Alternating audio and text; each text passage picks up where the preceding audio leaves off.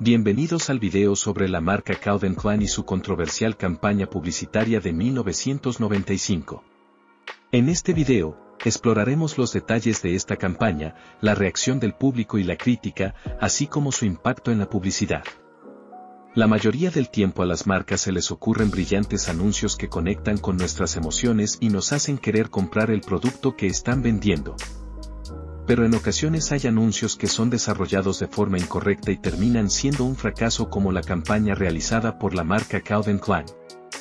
Calvin Klein es una marca estadounidense de moda y fragancias fundada en 1968. La marca se ha convertido en un símbolo de la moda estadounidense y ha sido conocida por sus diseños minimalistas y modernos. La campaña publicitaria de Calvin Klein de 1995 fue diseñada para ser provocativa y sexualmente sugestiva.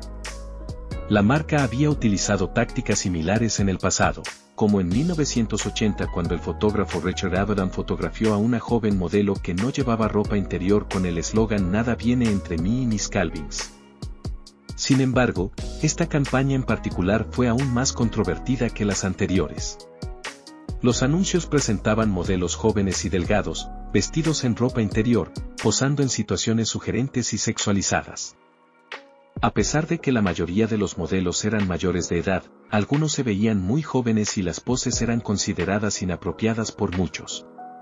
La crítica más fuerte se centró en un anuncio en particular, que presentaba a una chica de 15 años, en una pose que sugería que estaba desnuda debajo de su ropa interior, acostada con las piernas abiertas con un eslogan que decía, ¿quieres saber lo que hay entre yo y mi Calvins? Nada. Esta imagen generó una gran controversia y acusaciones de que la marca estaba promoviendo la pornografía infantil. Los grupos de defensa de los derechos de los niños, así como algunos padres preocupados, protestaron enérgicamente y exigieron que se retiraran los anuncios. Además de las protestas, hubo varias demandas presentadas contra la marca, alegando que estaba explotando a menores de edad para fines comerciales y promoviendo la pornografía infantil. Una de estas demandas fue presentada por el fiscal general del estado de Nueva York, quien alegó que la campaña violaba las leyes estatales de protección infantil. Calvin Klein defendió la campaña, argumentando que estaba destinada a expresar la libertad sexual y la belleza juvenil, y que no había intención de promover la pornografía infantil.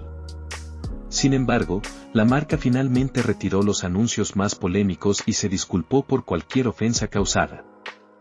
La campaña continúa siendo un ejemplo de cómo el marketing provocativo puede cruzar la línea y generar una gran controversia y críticas negativas.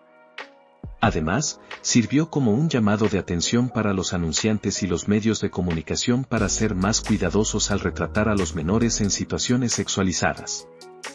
Es importante tener en cuenta que incluso las mejores campañas de marketing pueden fracasar y que el fracaso no significa necesariamente el fin del mundo.